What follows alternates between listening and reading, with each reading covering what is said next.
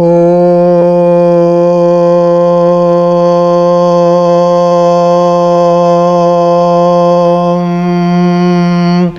देवीं वाचमजनयन्त देवाः तां विश्वरूपाः पशवो वदन्ति सा नो मन्द्रेशमोर्जन्दुहाना धेनुर्वागस्मानुपसुष्टुतैतो यद्वाग्वदन्त्यविचेतनानि राष्ट्रे देवाना अन्दिशसादमन्द्रा चतस्र ऊर्जं दुदुहे पयागुंसे क्वस्विदस्याः परमं जगामा अनन्तामन्तादधिनिर्मितां महीम् यस्या अन्देवा अदधुर्भोजनानि। एका अक्षरान् द्विपदागुं षट्पदाञ्च वाचं देवा उपजीवन्ति विश्वे वाचं देवा उपजीवन्ति विश्वे। वाचं गन्धर्वाः पशवो मनुष्याः। वाची मा विश्वा भुवनान्यर्पिता सा नो हवञ्जुषता इन्द्रपत्नी। वागक्षरं प्रथमजावृतस्य वेदानां मातावृतस्य नाभिः। सा नो जुषाणोपयज्ञमागात् अवन्ते देवी सुहवा मे अस्तु। या मृषयो मन्दकृतो मनीषिणः। अन्वैच्छन् देवास्तपसाश्रमेण तान् देवीं वाचगो हविषा यजामहे सा नो दधातु सुकृतस्य लोके। चत्वारि वाक्परिमिता पदानि। तानि विदुर्ब्राह्मणा ये मनीषिणः।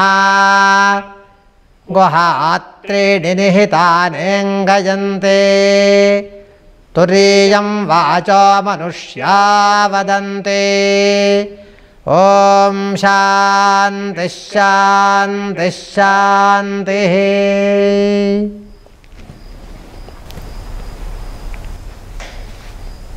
अन्तरायतिमिरोपशान्तये शान्तपावनमचिन्त्य वैभवम् तन्नरं वपुषि कुञ्जरं मुखे मन्महे किमपि तुन्दिलं महः शरणं करवाणि शर्मदन्त चरणं वाणि चराचरोपजीव्यं करुणामसृणैः कटाक्षपातैः कुरु मामम्बकृतार्थसार्थवाहम्।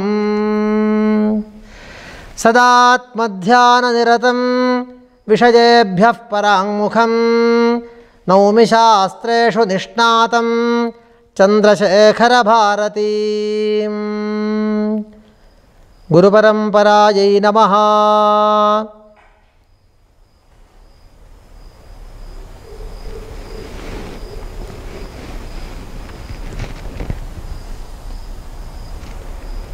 ಈ ಪ್ರಪಂಚದಲ್ಲಿ ಕಣ್ಣಿಗೆ ಕಾಣುವ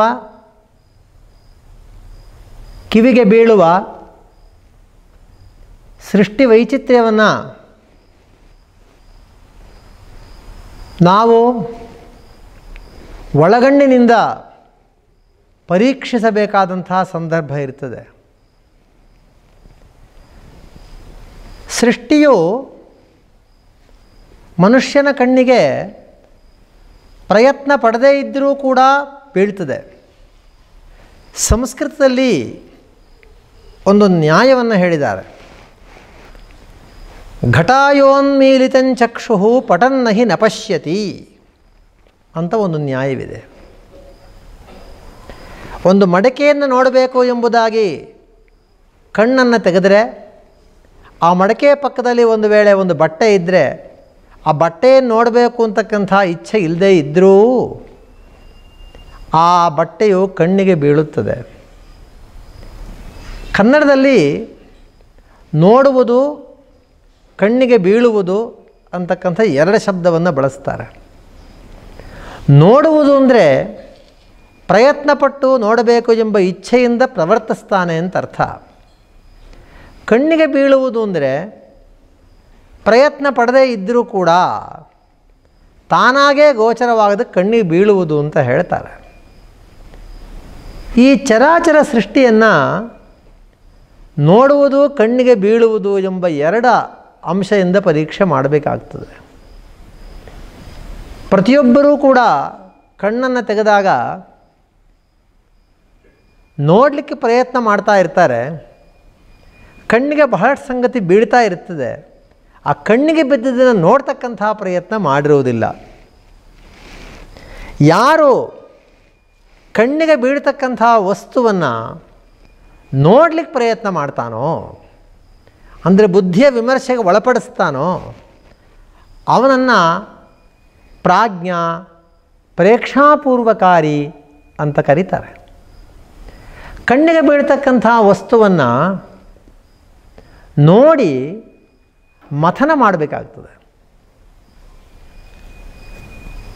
ನಾವು ನೋಡ್ತಕ್ಕಂಥ ಹಕ್ಕಿ ಪಕ್ಷಿಗಳು, ಗಿಡಮರಗಳು, ಬೆಟ್ಟ, ನದಿ ನದಿಯಲ್ಲಿರ್ತಕ್ಕಂಥ ಜಲಚರಗಳು, ಕ್ರೂರ ಪ್ರಾಣಿಗಳು, ಸಾಧು ಪ್ರಾಣಿಗಳು, ಇದೆಲ್ಲವೂ ಕೂಡ ನಾವು ಕಣ್ಣಿಗೆ ಬಿದ್ದರೂ ಕೂಡ ನೋಡುವಂಥ ಒಂದು ಪ್ರಯತ್ನ ನಾವು ಮಾಡಿರೋದಿಲ್ಲ.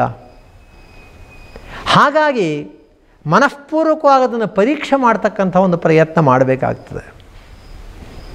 ಒಂದು ಮೀನು ನೀರಿನ ಒಳಗೆ ಇದ್ದಾಗ ಅದು ಹೇಗಿರ್ತದೆ?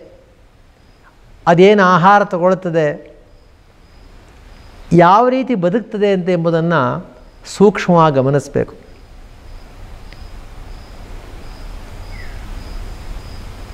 ಚಲನ್ಮೀನಾಭಲೋಚನ ಎಂಬ ಲಲಿತಾ ಸಹಸ್ರನಾಮದ ನಾಮಕ್ಕೆ ಭಾಷ್ಯ ಬರೆಯುವಾಗ ಸೌಭಾಗ್ಯ ಭಾಸ್ಕರದಲ್ಲಿ ಒಂದು ಮಾತನ್ನು ಬರೆದಿದ್ದಾರೆ. ಮೀನುಗಳು ತಮ್ಮ ಮರಿಗಳನ್ನು ಕಣ್ಣಿಂದ ನೋಡಿಯೇ ಬೆಳೆಸುತ್ತವೆ ಅಂತ ಬರೆದಿದ್ದಾರೆ.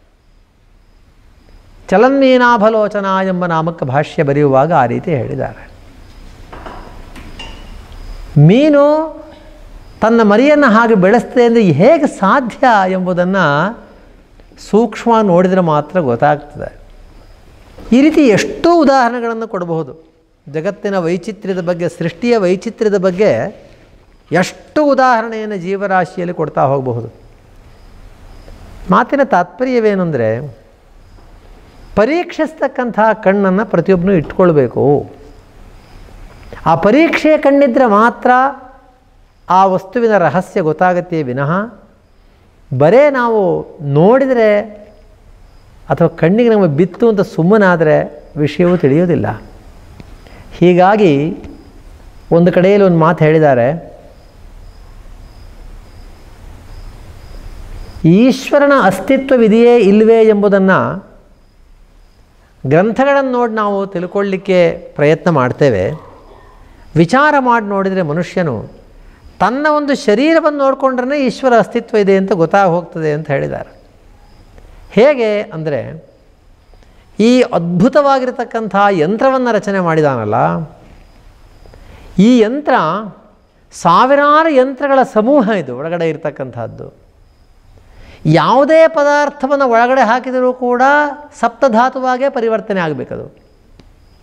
ಯಾವ ವಸ್ತುವನ್ನು ಹಾಕಿದರೂ ಕೂಡ ಸಪ್ತಧಾತುವಾಗೆ ಪರಿವರ್ತನೆ ಆಗಬೇಕು ಅಂದರೆ ಆ ರೀತಿ ಪರಿವರ್ತನೆ ಮಾಡ್ತಕ್ಕಂಥ ಯಾವ ರೀತಿಯ ಸಾಧನವನ್ನು ಒಳಗಡೆ ಇಟ್ಟಿರಬಹುದು ಎಂಬುದೇ ಒಂದು ಆಶ್ಚರ್ಯವಾದ ವಿಷಯ. ಒಂದೇ ರೀತಿ ಸಪ್ತಧಾತುವಾಗಿ ಪರಿವರ್ತನೆ ಆಗಬೇಕದು.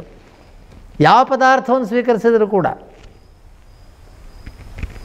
ಲೋಕದಲ್ಲಿ ಒಂದು ಕಬ್ಬಿನಿಂದ ಬೆಲ್ಲ ಆಗುವಾಗ ಒಂದು ಆಲೆ ಮನೆಗೆ ಹೋಗಿ ನೋಡಿದರೆ ಆ ಸಿಹಿಯಾದ ಪದಾರ್ಥವನ್ನು ಸಿಹಿಯಾದ ಪದಾರ್ಥವನ್ನು ಪರಿವರ್ತನೆ ಮಾಡಲಿಕ್ಕೆ ಬಹಳ ಕಷ್ಟವಾಗಿರ್ತಕ್ಕಂಥ ವ್ಯವಸ್ಥೆ ಇದೆ. ನಾನಾ ವಿಧವಾಗಿರ್ತಕ್ಕಂಥ ರಸವನ್ನು, ಗಟ್ಟಿ ಪದಾರ್ಥ, ದ್ರವ ಪದಾರ್ಥ ಯಾವುದನ್ನೇ ನಾವು ತಗೊಂಡರೂ ಕೂಡ ಒಂದೇ ರೀತಿಯಾದ ಧಾತುವಾಗಿ ಪರಿವರ್ತನೆ ಹೇಗಾಗ್ತದೆ ಒಳಗಡೆನಲ್ಲಿ? ಏನು ವ್ಯವಸ್ಥೆ ಇದೆ ಒಳಗಡೆ? ಯಾವ ರೀತಿಯ ವ್ಯವಸ್ಥೆ ಇದೆ? ರಾಸಾಯನಿಕ ವ್ಯವಸ್ಥೆ ಏನಿದೆ? ಹೇಗಿರಬಹುದು? ಎಂಬುದಾಗಿ ನೋಡಿದರೆ, ಮತ್ತು ಈ ಶರೀರದ ಚಲನೆಗೆ ಬೇಕಾಗಿರ್ತಕ್ಕಂತಹ ಶಕ್ತಿಯನ್ನು ಕೊಡುವ ಮೂಲ ಸಾಧನೆ ಯಾವುದಿದೆ ಒಳಗಡೆನಲ್ಲಿ? ಯಾವುದರಿಂದ ಈ ಶಕ್ತಿ ಬರ್ತಾ ಇದೆ? ಈ ಶಕ್ತಿ ಹೇಗೆ ಕೆಲಸ ಮಾಡ್ತಾ ಇದೆ? ಸಂದೇಶ ಕಳಿಸ್ತಕ್ಕಂತಹ ಮಿದುಳು ಯಾವ ರೀತಿ ಕೆಲಸ ಮಾಡ್ತದೆ? ಆ ನರನಾಡಿಗಳಿಗೆ ಕೆಲಸ ಮಾಡುವ ಬಗೆ ಹೇಗೆ? ಒಬ್ಬರೊಬ್ಬರಿಗಿರ್ತಕ್ಕಂತಹ ಬುದ್ಧಿ ವ್ಯತ್ಯಾಸಕ್ಕೆ ಕಾರಣವಾದ ಭೌತಿಕ ವಸ್ತು ಯಾವುದು ಶರೀರದಲ್ಲಿದೆ? ಎಲ್ಲ ಭೌತಿಕ ವಸ್ತುವು ಸಮಾನವಾಗಿದ್ದಾಗ ಒಬ್ಬ ಬುದ್ಧಿವಂತ ಆಗ ಒಬ್ಬ ದಡ್ಡಾಗಲಿಕ್ಕೆ ಏನು ಕಾರಣ? ಭೌತಿಕ ವಸ್ತುಗಳೆಲ್ಲ ಸಮಾನವಾಗಿದೆಯಲ್ಲ? ಭೌತಿಕ ವಸ್ತುವೇ ಒಂದು ವಸ್ತು, ಒಬ್ಬ ಮನುಷ್ಯನಿಗೂ ಇನ್ನೊಬ್ಬ ಮನುಷ್ಯನಿಗೂ ಬೇರೆ ಪಡಿಸುತ್ತೆ ಅಂತ ಆಗಿದ್ದರೆ ಎಲ್ಲ ಭೌತಿಕ ವಸ್ತುಗಳು ಸಮಾನವಾಗಿ ಪ್ರತಿಯೊಬ್ಬನಲ್ಲೂ ಇದೆ. ಯಾವುದು ಅದನ್ನು ಬೇರ್ಪಡಿಸ್ತಕ್ಕಂಥ ಸಾಧನ ಯಾವುದು? ಹೀಗೆ ನಾವು ವಿಚಾರ ಮಾಡ್ತಾ ಹೋದರೆ ಭಗವಂತನ ಸೃಷ್ಟಿಯನ್ನು ವಿಚಾರ ಮಾಡ್ತಾ ನಾವು ಮುಂದೆ ಹೋದ ಪಕ್ಷದಲ್ಲಿ ಮೂಕ ವಿಸ್ಮಿತರಾಗದಲ್ಲಿ ಅನುಮಾನವೇ ಇಲ್ಲ. ಜೇಡರ ಹುಳಕ್ಕೆ ಅಚ್ಚುಕಟ್ಟಾಗಿರ್ತಕ್ಕಂಥ ಸ್ವಲ್ಪವೂ ಅಳತೆಯಲ್ಲಿ ವ್ಯತ್ಯಾಸ ಇಲ್ಲದೇ ಇರತಕ್ಕಂಥ ಬಲೆಯನ್ನು ನೇಯುವ ಶಿಕ್ಷಣವನ್ನು ಕೊಟ್ಟವರು ಯಾರು? ಯಾರು ಶಿಕ್ಷಣ ಕೊಟ್ಟಿದ್ದಾರೆ? ನಾವು ಜೇಡರ ಬಲೆಯನ್ನು ನೋಡಬಹುದು. ಅಳತೆಯಲ್ಲಿ ಸ್ವಲ್ಪವೂ ವ್ಯತ್ಯಾಸ ಇರೋದಿಲ್ಲ. ಆ ರೀತಿ ಇರ್ತದೆ ಜಡ್ಡರ ಬಲೆ. ಯಾರು ಕಲಿಸಿದ್ದಾರೆ? ಸಕಲ ಪ್ರಾಣಿ, ಸಕಲ ಪಕ್ಷಿ ಒಂದಿದ್ದಂಗೆ ಒಂದಿಲ್ಲ, ಒಂದು ರೀತಿ ಇನ್ನೊಂದಿಲ್ಲ, ಒಂದು ಪ್ರಾಣಿ ಇದ್ದಂಗೆ ಇನ್ನೊಂದು ಪ್ರಾಣಿ ಇಲ್ಲ. ಹೇಗೆ ಇದು ಅಂತ ನಾವು ವಿಚಾರ ಮಾಡಿರೋ, ವಿಚಾರ ಮಾಡ್ತಾ ಹೋಗುವಾಗ ಶಂಕರ ಭಗವತ್ಪಾದರು ಸೂತ್ರ ಭಾಷೆ ಹೇಳಿರ್ತಕ್ಕಂಥ ಒಂದು ಪದ ನೆನಪಿಗೆ ಬರ್ತದೆ. ಅಚಿಂತ್ಯ ರಚನಾರೂಪಸ್ಯ ಈ ಜಗತ್ತಿನ ರಚನೆಯ ರೂಪವು ಅಚಿಂತ್ಯ. ಅದನ್ನು ನಾವು ಊಹೆ ಮಾಡಿ ನಿಲುಕಲಿಕ್ಕೆ ಸಾಧ್ಯ ಇಲ್ಲ. ಅದ್ಭುತವಾಗಿರತಕ್ಕಂಥ ಈ ರಚನೆ ಹೇಗೆ ಆಗಿದೆ ಎಂಬುದಾಗಿ ಅದರ ನೆಲೆಗಟ್ಟನ್ನು ನಾವು ಯೋಚನೆ ಮಾಡೋಕ್ಕೆ ನಮ್ಮ ಬುದ್ಧಿ ಪ್ರಸರವಾಗಲಾರದು. ಈಶ್ವರನಿಗೆ ಸೃಷ್ಟಿ ಅಂತ ಹೇಳ್ತಕ್ಕಂಥದ್ದು ಕ್ರೀಡಾರ್ಥಮಿತಿ ಚಾಪರೇ. ಭೋಗಾರ್ಥಂ ಸೃಷ್ಟಿರಿತ್ಯನ್ಯೇ ಕ್ರೀಡಾರ್ಥಮಿತಿ ಚಾಪರೇ ಎಂಬುದಾಗಿ ಗೌಡಪಾದರ ಕಾರಿಕೆಯಲ್ಲಿ ಹೇಳಿದೆ. ಕ್ರೀಡಾರ್ಥವಿಧಿ ಚಾಪರ, ಈ ಸೃಷ್ಟಿ ಕೇವಲ ಆಟಕ್ಕೋಸ್ಕರವಾಗಿ. ಹೇಗೆ ಒಂದು ಸಣ್ಣ ಮಗು ಒಂದು ಬೊಂಬೆಯನ್ನು ನಿರ್ಮಾಣ ಮಾಡ್ತದೋ ಆಟಕ್ಕೋಸ್ಕರವಾಗಿ. ಮರಳಿನಲ್ಲಿ ಕೂತಿರ್ತಕ್ಕಂಥ ಒಂದು ಮಗು ಆ ಮರಳಿನ ಗೂಡನ್ನು ಕಟ್ಟದಂತೆ ಭಗವಂತನು ಇದನ್ನು ಮಾಡಿದ್ದಾನೆ ಕ್ರೀಡಾರ್ಥಂ. ಹೀಗಾಗಿ ಈ ಭಗವತ್ ಸೃಷ್ಟಿ ಕಣ್ಣು ತೆಗೆದು ಸರಿಯಾಗಿ ನೋಡಿದರೆ, ಚೆನ್ನಾಗಿ ವಿಚಾರ ಮಾಡಿ ನೋಡಿದರೆ, ಇದು ಅತ್ಯದ್ಭುತವಾಗಿರ್ತಕ್ಕಂಥದ್ದು, ನಮ್ಮ ಮನಸ್ಸಿಗೆ ನಿಲ್ತಕ್ಕಂಥ ವಿಷಯವಲ್ಲ ಅಂತ ಹೇಳಿ ಏನೋ ಒಂದು ಶಕ್ತಿಯಿಂದಲೇ ಆಗಿದೆ ಇದು ಅನ್ನೋ ನಿಷ್ಕರ್ಷಕ್ಕೆ ಬರ್ತೀವಿ. ಸರಿಯಾಗಿ ಆಲೋಚನೆ ಮಾಡಿದರೆ. ಸರಿಯಾಗಿ ಆಲೋಚನೆ ಮಾಡದೇ ಇದ್ದಾಗ ನಾವು ಇದನ್ನು ರಚಿಸಬಹುದು ಅಂತ ಅನ್ನಿಸ್ಬಹುದು. ಆದರೆ ಸರಿಯಾಗಿ ಆಲೋಚನೆ ಮಾಡಿದರೆ ಮಾತ್ರ ಅದು ಹಾಗಾಗಲಿಕ್ಕೆ ಸಾಧ್ಯವಿಲ್ಲ. ರಾಮಕೃಷ್ಣ ಪರಮಹಂಸರ ಒಂದು ಕಡೆ ಒಂದು ವಾಕ್ಯ ಹೇಳಿದ್ದರಂತೆ, ಒಂದು ಹುಲ್ಲು ಕಡ್ಡಿಯನ್ನಾದರೂ ಪ್ರತ್ಯೇಕವಾಗಿ ಸೃಷ್ಟಿ ಮಾಡಲಿಕ್ಕೆ ಸಾಧ್ಯವೋ? ಇರತಕ್ಕಂಥ ವಸ್ತುವನ್ನು ಜೋಡಿಸಿ ಬೇರೆ ಬೇರೆ ಮಾಡ್ಬೋದೇ ವಿನಃ ಹೊಸದಾದ ಒಂದು ಸೃಷ್ಟಿ ಸೃಷ್ಟಿ ಸಾಧ್ಯವೋ ಇಲ್ಲವಲ್ಲ ಅಂತ ಹೇಳಿದ್ರಂತೆ ತಾತ್ಪರ್ಯ, ಇಷ್ಟು ಅದ್ಭುತವಾಗಿರತಕ್ಕಂಥ ಈ ಸೃಷ್ಟಿಯಲ್ಲಿ, ಈ ಭಗವಂತನ ಸೃಷ್ಟಿಯಲ್ಲಿ ಗಮನಿಸಬೇಕಾಗಿರ್ತಕ್ಕಂಥ ಸೃಷ್ಟಿ ಅಂದರೆ ಮಾನವನ ಸೃಷ್ಟಿ. ಮನುಷ್ಯ ಅಂತ ಹೇಳ್ತಕ್ಕಂಥ ಒಂದು ಯಂತ್ರವನ್ನು ಸೃಷ್ಟಿ ಮಾಡಿದಾನಲ್ಲ, ಇದು ಅತ್ಯದ್ಭುತವಾಗಿರ್ತಕ್ಕಂಥದ್ದು.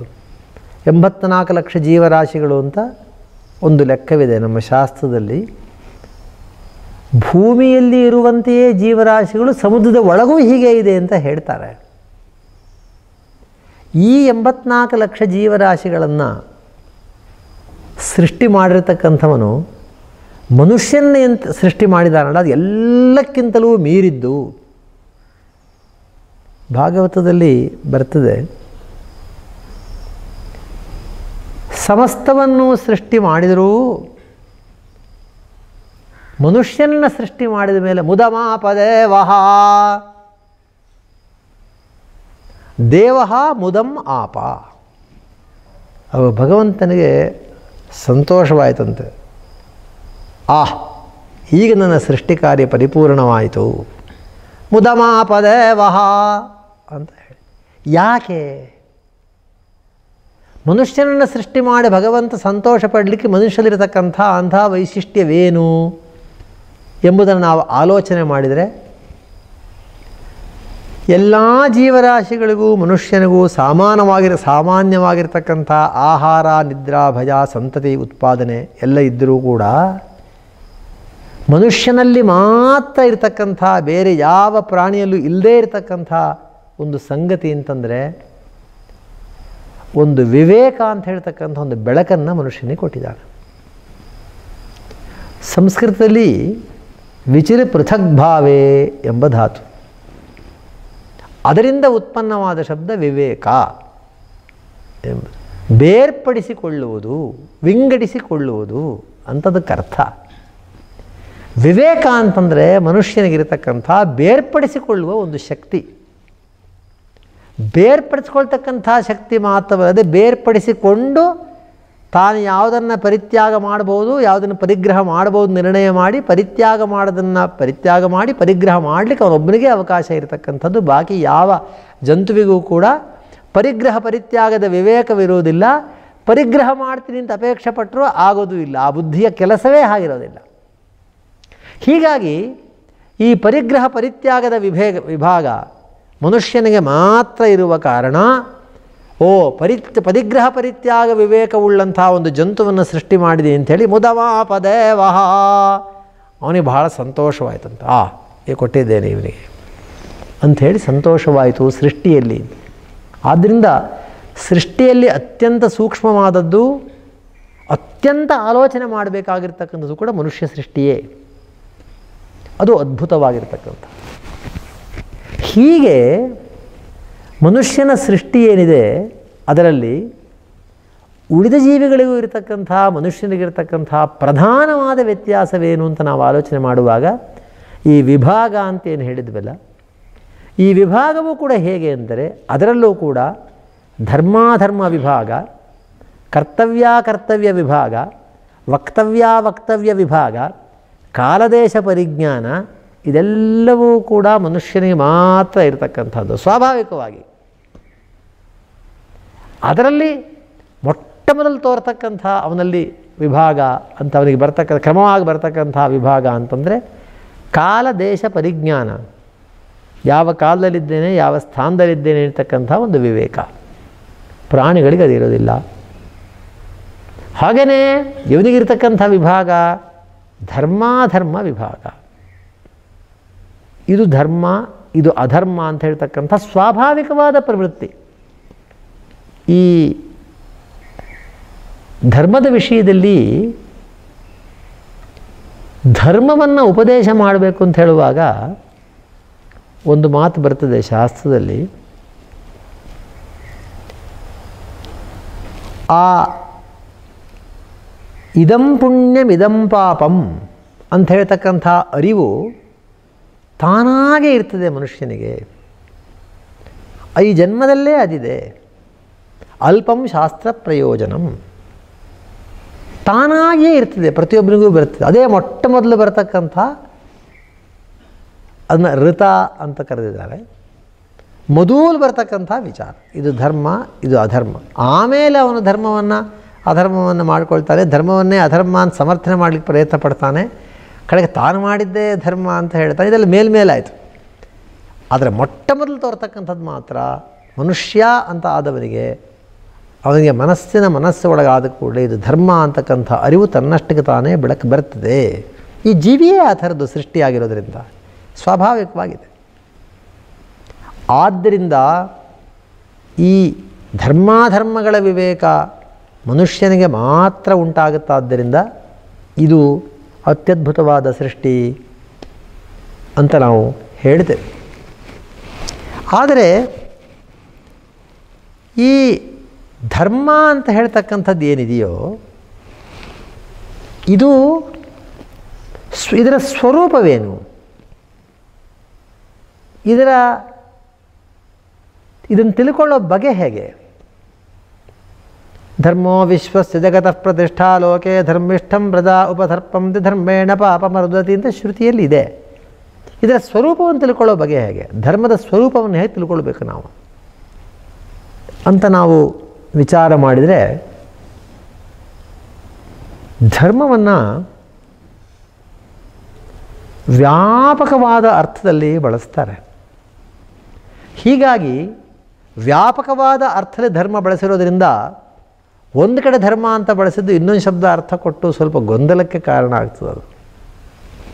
ತುಂಬ ವ್ಯಾಪಕವಾಗಿ ಬಳಸ್ತಕ್ಕಂಥ ಶಬ್ದ ಅದು. ಇದನ್ನು ಹೇಗೆ ನಾವು ತಿಳ್ಕೊಳ್ಬಹುದು ಅಂತ ಹೇಳಿದರೆ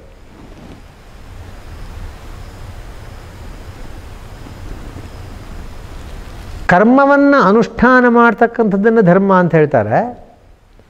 ಅನುಷ್ಠಾನ ಮಾಡಿರ್ತಕ್ಕಂಥ ಕರ್ಮದಿಂದ ಉಂಟಾಗುವ ಪುಣ್ಯವನ್ನೂ ಧರ್ಮ ಅಂತ ಹೇಳ್ತಾರೆ. ಒಂದನ್ನು ಅನುಷ್ಠೇಯ ಧರ್ಮ ಅಂತ ಹೇಳ್ತಾರೆ, ಮಾಡಬೇಕಾದದ್ದನ್ನು. ಉಂಟಾಗತಕ್ಕಂಥ ಫಲವಾದ ಪುಣ್ಯವನ್ನೂ ಧರ್ಮ ಅಂತ ಕರೀತಾರೆ.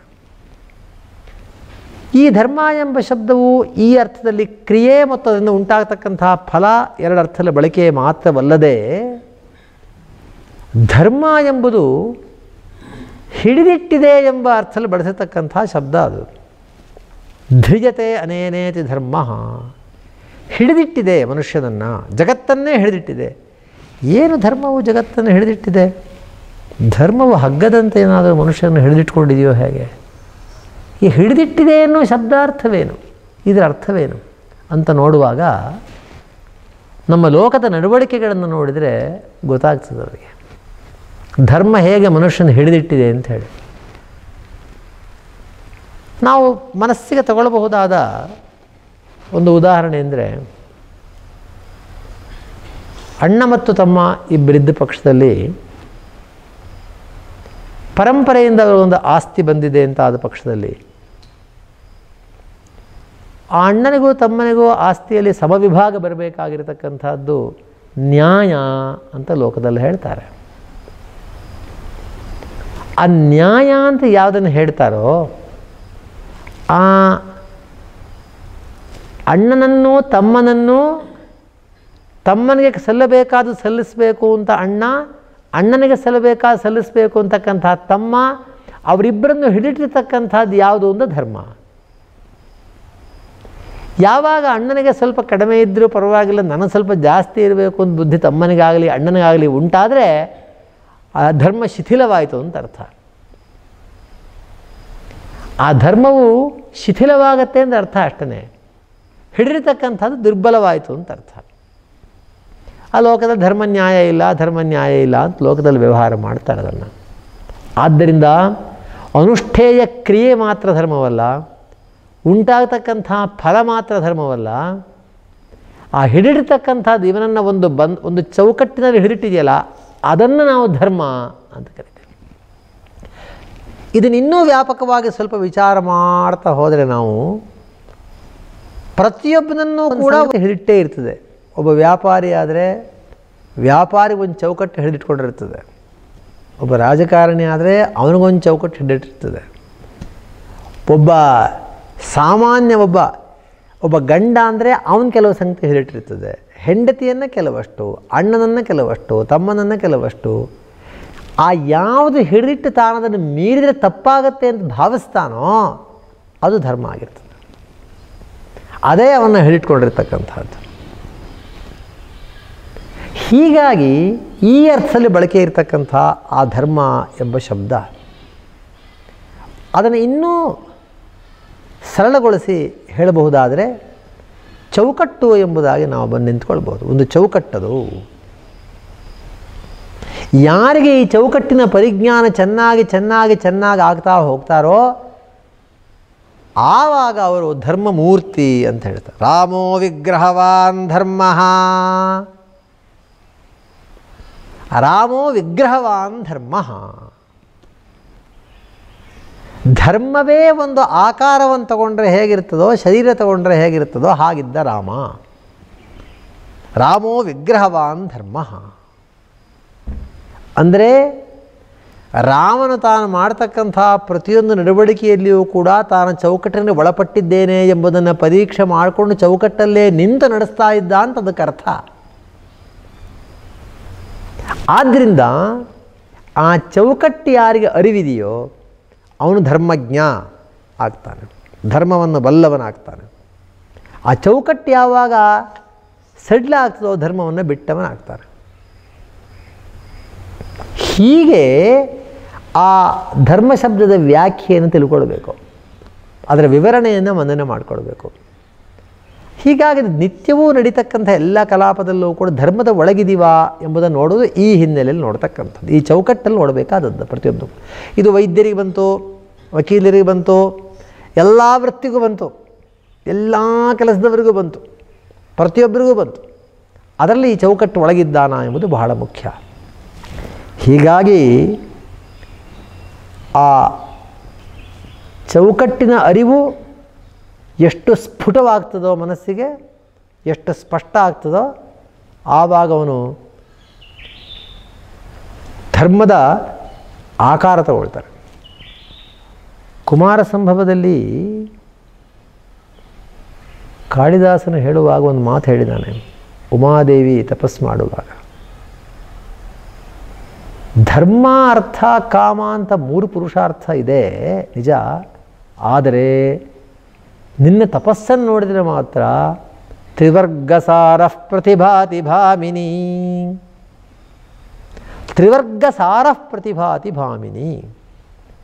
ಧರ್ಮ ಅರ್ಥ ಕಾಮಗಳ ಮೂರರ ಸಾರ ಧರ್ಮವೇ ಸರಿ ಎಂಬುದಾಗಿ ನನಗನ್ನಿಸ್ತಾ ಇದೆ. ತ್ರಿವರ್ಗ ಸಾರ ಧರ್ಮ. ತ್ರಿವರ್ಗಸಾರ ಪ್ರತಿಭಾತಿ ಭಾವಿನಿ ಅಂತ ಹೇಳ್ತಾನೆ. ಹೀಗೆ ಆ ಅರ್ಥಕಾಮಗಳು ಕೂಡ ಧರ್ಮವಾಗ್ಬಿಡ್ತದೆ, ಸರಿಯಾಗಿ ಆಚರಿಸಿದರೆ. ಅಂದರೆ ಏನು ಅದರ ಮಾತಿನ ತಾತ್ಪರ್ಯ ಅಂತ ವಿಚಾರ ಮಾಡಿ ನೋಡಿದರೆ, ಪುರುಷಾರ್ಥದಲ್ಲಿ ಧರ್ಮ, ಅರ್ಥ, ಕಾಮ, ಮೋಕ್ಷ ಎಂಬುದಾಗಿ ನಾಲ್ಕು ಪುರುಷಾರ್ಥವನ್ನು ವಿಂಗಡಿಸಿ, ಆ ಧರ್ಮಾರ್ಥ ಕಾಮಗಳನ್ನು ಒಂದು ಗುಂಪು ಮಾಡಿ ತ್ರಿವರ್ಗ ಅಂತ ಕರೆದು ಮೋಕ್ಷವನ್ನು ಸೇರಿ ಚತುರ್ವರ್ಗ ಅಂತ ಹೇಳಿದ್ದಾರೆ. ಈ ಧರ್ಮಾರ್ಥ ಕಾಮ ಎಂಬುದಾಗಿ ಏನು ವಿಭಾಗ ಮಾಡಿದಾರೋ ವಿಭಾಗಕ್ಕೊಂದು ಕಾರಣ ಇರಬೇಕು. ಸುಮ್ಮನೆ ಎಲ್ಲವೂ ಒಂದೇ ರೀತಿ ಆದರೆ ವಿಭಾಗ ಮಾಡಲಿಕ್ಕೆ ಸಾಧ್ಯ ಇಲ್ಲ. ಧರ್ಮ ಭಿನ್ನವಾಗಿರಬೇಕು, ಅರ್ಥ ಭಿನ್ನವಾಗಿರಬೇಕು, ಕಾಮ ಭಿನ್ನವಾಗಿರಬೇಕು. ಹಾಗಿದ್ದರೆ ಮಾತ್ರ ಮೂರು ಪುರುಷಾರ್ಥ ಆಗುತ್ತೆ. ಪುರುಷೈ ಅರ್ಥ್ಯತೆಗಿತಿ ಪುರುಷಾರ್ಥ. ಬಯಸ್ತಾನೆ ಅಂತ ಅರ್ಥ. ಧರ್ಮ, ಅರ್ಥ, ಕಾಮ. ಅದರಲ್ಲಿ ಅರ್ಥಕಾಮಗಳಿಗೆ ಹೆಚ್ಚು ವ್ಯಾಖ್ಯಾನ ಮಾಡಬೇಕಾದ ಅವಶ್ಯಕತೆ ಇಲ್ಲ. ಯಾಕೆ ಅಂದರೆ ಪ್ರವೃತ್ತಿಯಲ್ಲೇ ಅರ್ಥ ಕಾಮಗಳಿಗೆ ಮನುಷ್ಯನ ಸ್ವಾಭಾವಿಕವಾಗಿ, ಧರ್ಮಕ್ಕೆ ಮಾತ್ರ ಹಾಗೆ ಪ್ರವೃತ್ತಿ ಇಲ್ಲ. ಅರ್ಥಕಾಮಗಳಿಗೆ ಸ್ವಾಭಾವಿಕವಾಗೇ ಪ್ರವೃತ್ತಿ ಇದೆ ಅವರಿಗೆ ಅದಕ್ಕೆ ಯಾರು ಈ ಅರ್ಥ ಅಂದರೆ ಹೀಗೆ ಅಂತ ಹೇಳಿ ಯಾವುದ್ಯಾವ್ದು ಅರ್ಥ್ಯತೆ ಅಪೇಕ್ಷೆ ಪಡ್ತಾ ಎಲ್ಲವೂ ಅರ್ಥವಾಗ್ತದೆ. ಅರ್ಥ ಅಂದರೆ ಬರೀ ಹಣ ಅಂತ ಮಾತ್ರ ಅರ್ಥ ಅಲ್ಲ. ಯಾವುದು ಬಯಸ್ತಾನೋ ಎಲ್ಲವೂ ಕೂಡ. ಕಾಮ ಸ್ವಲ್ಪ ತೀವ್ರವಾಗಿರತಕ್ಕಂಥದ್ದು. ಕೊಂಚ ತೀವ್ರ, ಅರ್ಥಕ್ಕಿಂತಲೂ ಕಾಮ ಕೊಂಚ ತೀವ್ರವಾದದ್ದು. ಬಯಸ್ತಾನದನ್ನು ಕೂಡ ಕೊಂಚ ತೀವ್ರವಾದದ್ದು. ಹೀಗೆ ಇದ್ದರೆ ಆದರೆ ಆ ಅರ್ಥಕಾಮಗಳು ಕೂಡ ಧರ್ಮಕ್ಕೆ ಅವಿರುದ್ಧವಾಗಿರಬೇಕು. ಧರ್ಮ ವಿರುದ್ಧೋ ಭೂತೇಶು ಕಾಮೋಸ್ಮಿ ಭರತರ್ಷಭಾ ಅಂತ ಭಗವಂತನ ಮಾತು. ಏನು ಕಾಮವು ಧರ್ಮಕ್ಕೆ ಅವಿರುದ್ಧವಾಗಿರಬೇಕು ಅಂದರೆ ಹೇಗೆ? ಅರ್ಥವು ಧರ್ಮಕ್ಕೆ ಅವಿರುದ್ಧವಾಗಿರಬೇಕು ಅಂದರೆ ಹೇಗೆ ಸಾಧ್ಯ? ಅಂತ ಕೇಳಿದರೆ, ದಿಲೀಪನ ರಾಜ್ಯದಲ್ಲಿ ಕಾಳಿದಾಸ ಒಂದು ಮಾತನ್ನು ಹೇಳಿದ್ದಾನೆ ಆ ಮಾತು ಮನನ ಮಾಡಬೇಕಾದದ್ದು ಈ ಧರ್ಮಾರ್ಥದ ವಿಷಯದಲ್ಲಿ. ಅರ್ಥಕಾಮಗಳು ಧರ್ಮ ಆಗೋದು ಹೇಗೆ ಅಂತ ನಾವು ನೋಡುವಾಗ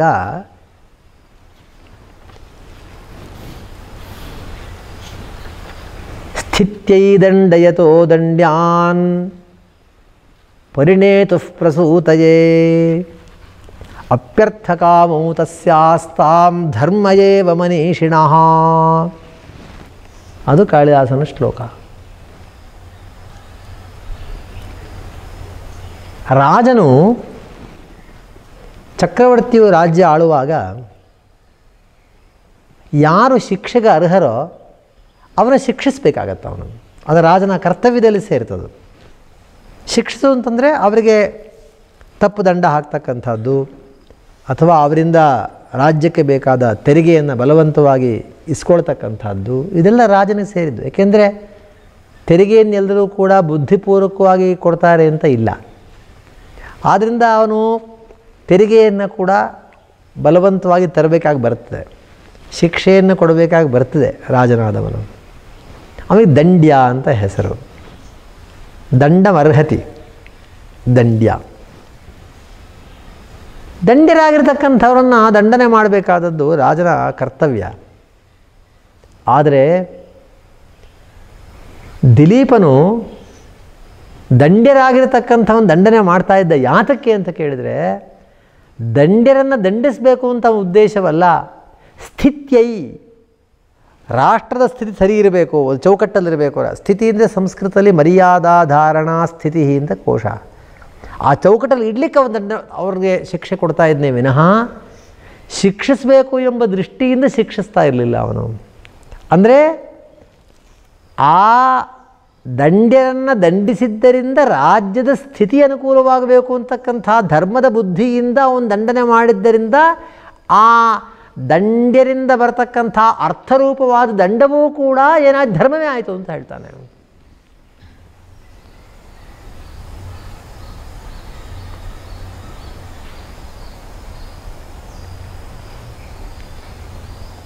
ಶ್ರೀರಾಮನು ಕೂಡ ವಾಲಿಗೆ ಶಿಕ್ಷೆ ಕೊಟ್ಟಿದ್ದು ಶ್ರೀರಾಮನು ರಾವಣನಿಗೆ ಕೊಟ್ಟಿದ್ದು ವಿಚಾರ ಮಾಡಿದರೆ ಅದು ಶಿಕ್ಷೆ ಅಲ್ಲದೆ ಅದು ಧರ್ಮವೇ ಆಗಿರ್ತದೆ ಅದು. ಹೀಗೆ ಅರ್ಥವೂ ಕೂಡ ಧರ್ಮವಾಗ್ತದೆ. ಕಾಮವೂ ಕೂಡ ಧರ್ಮ ಆಗತ್ತೆ ಅಂತ ಹೇಳ್ತಾನೆ. ಸ್ಥಿತ್ಯೈ ದಂಡ್ಯ ದಂಡಯತೋ ದಂಡ್ಯಾನ್ ಪರಿಣೇತು ಪ್ರಸೂತಯೇ. ಪರಿಣಯ ಅಂದರೆ ವಿವಾಹ. ವಿವಾಹ ಯಾತಕ್ಕಾಗಿ ಅಂತ ಪ್ರಶ್ನೆ. ಇಂದ್ರಿಯ ಚಾಪಲ್ಯಕ್ಕೋಸ್ಕರ ವಿವಾಹವೇ? ಇಂದ್ರಿಯ ಭೋಗಕ್ಕಾಗಿ ವಿವಾಹವೇ? ಯಾತಕ್ಕಾಗಿ ವಿವಾಹ? ವಿವಾಹ ಎಂಬುದು ಯಾತಕ್ಕೆ? ಪರಿಗ್ರಹ ಯಾತಕ್ಕೋಸ್ಕರವಾಗಿ? ಪತ್ನಿಯ ಪರಿಗ್ರಹ ಯಾತಕ್ಕೋಸ್ಕರವಾಗಿ? ವಿಚಾರ ಮಾಡುವಾಗ ಹೇಳ್ತಾನೆ ಕಾಳಿದಾಸ, ಪರಿಣೇತು ಪ್ರಸೂತಯೇ. ಪ್ರಸೂತಿ ಎಂಬುದಕ್ಕೆ ಮುಂದಿನ ವಂಶ ಬೆಳೆಯಲಿ ಅಂತ ಅರ್ಥ. ತನಗಲ್ಲ, ರಾಷ್ಟ್ರಕ್ಕೋಸ್ಕರ ಆ ವಂಶ. ದಿಲೀಪನ ಮಗನನ್ನು ಪಡೆಯೋದಕ್ಕೂ ಬಾಕಿಯವರ ಮಗನ ಪಡೆಯೋದಕ್ಕೂ ಬಹಳ ವ್ಯತ್ಯಾಸ ಇದೆ. ದಿಲೀಪರು ಯಾತಕ್ಕಾಗಿ ಮಗನಿಗೆ ಸಂತತಿ ಹಂಬಲಿಸ್ದ ಅಂದರೆ, ಈ ಉತ್ತರ ಕೋಸಲೇಂದ್ರ ಆಗಿರ್ತಕ್ಕಂಥ ಮುಂದೆ ಒಬ್ಬನನ್ನು ಕೊಡಬೇಕಾದ್ದು ನನ್ನ ಕರ್ತವ್ಯ. ನಾನು ಏನು ಅಧರ್ಮ ಮಾಡಿದ್ದರಿಂದ ಮಕ್ಕಳು ಜನಿಸ್ತಿಲ್ವೋ ಅಂತ ಮುಂದೆ ಅವನು ವಸಿಷ್ಠರ ಬಳಿ ಹೋಗ್ತಾನೆ. ಇದು ಅವನಿಗಿದ್ದಂಥ ದೃಷ್ಟಿ. ಪರಿಣೇತು ಪ್ರಸೂತಯೇ. ಪ್ರಸೂತಯೇ ಪರಿಣೇತು. ವಂಶವನ್ನು ಮುಂದುವರೆಸಿ ಪ್ರಜೆಗಳ ರಕ್ಷಣೆ ಮಾಡಲಿಕ್ಕೆ ಒಬ್ಬನನ್ನು ಒದಗಿಸಬೇಕು ಎಂಬುದಕ್ಕೆ ವಿವಾಹ ಆಗ್ತಾ ಇದೆ. ಹೀಗಾಗಿ ವಿವಾಹ ಎಂಬುದು ಇಂದ್ರಿಯ ಭೋಗವೆಂಬ ಕಾಮದಲ್ಲಿ ಪರ್ಯವಸಾನವಾಗದೇ ಧರ್ಮಕ್ಕೆ ಬಂತದು. ಪ್ರಜಾರಕ್ಷಣಾ ಅಂತ ಹೇಳ್ತಕ್ಕಂಥ ಒಂದು ಧರ್ಮಕ್ಕೆ ಬಂತು. ಅಪ್ಯರ್ಥಕಾಮೌ ತಸ್ಯ ಆಸ್ತಾಂ ಧರ್ಮಯೇವ ಮನೀಷಿಣಃ. ಅರ್ಥಕಾಮೌ ಅಪಿ ತಸ್ಯ ದಿಲೀಪಸ್ಯ ಧರ್ಮಯೇವ ಆಸ್ತಾಂ, ಧರ್ಮವೇ ಆಯಿತು. ಇದೊಂದು ದಿಗ್ದರ್ಶಕವಾದಂಥ ಒಂದು ಶ್ಲೋಕ. ಹೇಗೆ ದಿಗ್ದರ್ಶಕವಾದ ಶ್ಲೋಕ ಅಂದರೆ, ಅರ್ಥಕಾಮಗಳು ತಮ್ಮ ಸ್ವರೂಪವನ್ನು ಬಿಟ್ಟು ಧರ್ಮದ ಆಕಾರವನ್ನು ತೆಗೆದುಕೊಳ್ಳಬಲ್ಲವು ಆಲೋಚನೆ ಮಾಡಿದರೆ ಎಂದೇ ಅರ್ಥ. ಹೀಗೆ ಆ ಧರ್ಮಾರ್ಥ ಕಾಮಗಳಲ್ಲಿ ಧರ್ಮವು ಪ್ರಧಾನವಾಗಿರ್ತಕ್ಕಂಥದ್ದು. ಈ ಧರ್ಮವನ್ನು, ಧರ್ಮದ ಸ್ವರೂಪವನ್ನು ನಾವು ತಿಳ್ಕೊಳ್ಬೇಕಾದ್ರೆ ನಮಗೆ ಪ್ರಮಾಣವಾದದ್ದು ವೇದ ಅಂತ ಹೇಳಿದೆ. ಅಲ್ಲಿಂದ ತಿಳ್ಕೊಳ್ತೀವಿ, ಧರ್ಮಂ ಜಿಜ್ಞಾಸಮಾನಾಂ ಪ್ರಮಾಣಂ ಪರಮಶ್ರುತಿ ಧರ್ಮಬ್ರಹ್ಮಣಿ ವೇದೈಕ ವೇದ್ಯೆ ಇದೆಲ್ಲ ಪ್ರಾಚೀನ ವಚನಗಳಿಂದ ಅದರ ಸ್ವರೂಪವನ್ನು ತಿಳ್ಕೊಳ್ತೇವೆ ನಾವು, ಧರ್ಮದ ಸ್ವರೂಪವನ್ನು. ಆ ಧರ್ಮದ ಸ್ವರೂಪವನ್ನು ನಾವು ತಿಳ್ಕೊಂಡು ಅನುಷ್ಠಾನ ಮಾಡುವ ಸಮಯದಲ್ಲಿ ಇನ್ನೊಂದು ಅಂಶವನ್ನು ಮನಸ್ಸಿಗೆ ತಂದುಕೊಳ್ಬೇಕು. ಅದ್ಯಾವುದು ಅಂತ ವಿಚಾರ ಮಾಡುವಾಗ ನಮ್ಮ ಪರಂಪರೆಯಲ್ಲಿ ಈ ಧರ್ಮಸ್ವರೂಪವನ್ನು ತಿಳಿಸ್ಲಿಕ್ಕೋಸ್ಕರವಾಗಿ ವೇದಗಳು, ಇತಿಹಾಸಗಳು, ಪುರಾಣ, ಕಾವ್ಯ, ಇದೆಲ್ಲ ಒಂದು ಸೋಪಾನ ಇಟ್ಟಿದ್ದಾರೆ. ಅದಕ್ಕೆ ಬೇರೆ ಬೇರೆ ಹೆಸರನ್ನು ಕೊಟ್ಟಿದ್ದಾರೆ. ವೇದಗಳನ್ನು ಪ್ರಭು ಸಂಹಿತೆ ಅಂತ ಕರೆದಿದ್ದಾರೆ. ಅದು ಪ್ರಭು ಸಂಹಿತೆ ಸಂಹಿತೆ ಅಲ್ಲ. ಸಂಹಿತ ಎಂಬ ಶಬ್ದಕ್ಕೆ ಸದೃಶ ಅಂತ ಅರ್ಥ. ಪ್ರಭು ಸಂಹಿತ ಚಕ್ರವರ್ತಿಗೆ ಸದೃಶವಾದದ್ದು, ರಾಜನಿಗೆ ಸದೃಶವಾದದ್ದು. ಅದು ಪ್ರಭು ಸಂಹಿತ ಆಮೇಲೆ ಮಿತ್ರ ಸಂಹಿತ ಆಮೇಲೆ ಕಾಂತಾ ಸಂಹಿತ ಅಂತ ಮೂರು ಭಾಗ ಮಾಡಿದ ವೇದಗಳನ್ನೆಲ್ಲವನ್ನೂ ಕೂಡ ಪ್ರಭು ಸಂಹಿತ ಎಂಬುದಾಗಿ ಯದ್ವೇದಾತ್ ಪ್ರಭು ಸಂಹಿತಾತ್ ಅಂತ ನಂದಿಕೇಶ್ವರನ ಸ್ತೋ ಸ್ತೋತ್ರದಲ್ಲಿ ಆಗಿದೆ ಅದು ಪ್ರಭು ಸಂಹಿತ ರಾಜನಂತೆ. ಪುರಾಣಗಳೆಲ್ಲವೂ ಕೂಡ ಮಿತ್ರ ಸಂಹಿತೆ ಕಾವ್ಯಗಳೆಲ್ಲವೂ ಕೂಡ ಕಾಂತಾ ಸಂಹಿತೆ ಎಂಬುದಾಗಿ ಮೂರು ಬಗೆ ಮಾಡಿದ್ದಾರೆ. ಇದು ಪ್ರಾಚೀನರು ಮಾಡಿರ್ತಕ್ಕಂಥ ಒಂದು ವಿಭಾಗ. ಪ್ರಭು ಸಂಹಿತೆ ಮಿತ್ರ ಸಂಹಿತೆ ಕಾಂತಾ ಸಂಹಿತೆ ಎಂಬುದಾಗಿ ವಿಭಾಗ ಮಾಡಿದರೂ ಕೂಡ ಫಲದಲ್ಲಿ ವ್ಯತ್ಯಾಸ ಬರಬಾರ್ದು.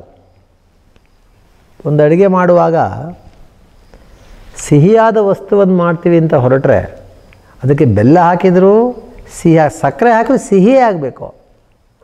ಬೆಲ್ಲ ಹಾಕಿದರೆ ಸಿಹಿಯಾಗಿ ಸಕ್ಕರೆ ಹಾಕಿದರೆ ಕಹಿ ಆಗಿಬಿಟ್ರೆ ಬೆಲ್ಲ, ಸಕ್ಕರೆ ಎರಡು ಬೇರೆ ಬೇರೆ ಆಗೋಯ್ತು. ಅದು ಅದಾಗೋದಿಲ್ಲ. ಫಲ ಒಂದೇ ಇರಬೇಕು.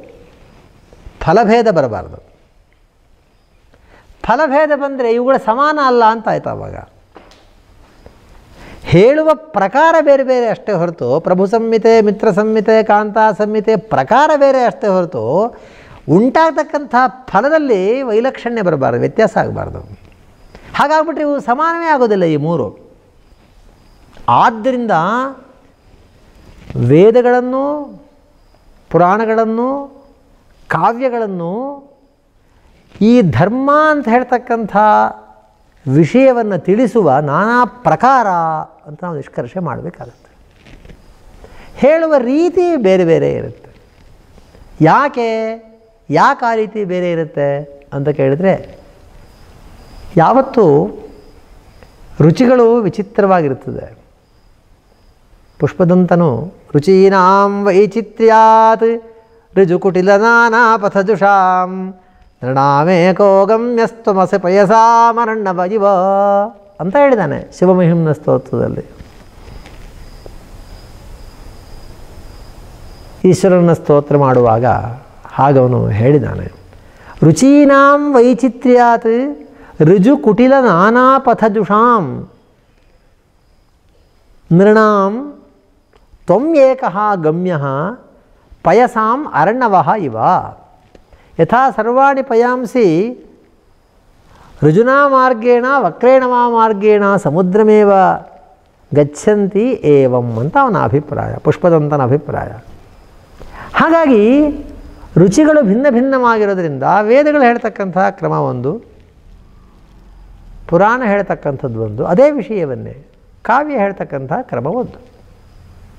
ಮಾತೃದೇವೋಭವ ಇದು ವೇದ ಹೇಳ್ತಕ್ಕಂಥ ವಾಕ್ಯ. ಮತ್ತದ ಹಿಂದೆ ಮುಂದೆ ಏನಲ್ಲ ವಿವರಣೆ ಎಲ್ಲ ವೇದದಲ್ಲಿ ಏನೂ ಲಭ್ಯ ಆಗೋದಿಲ್ಲ.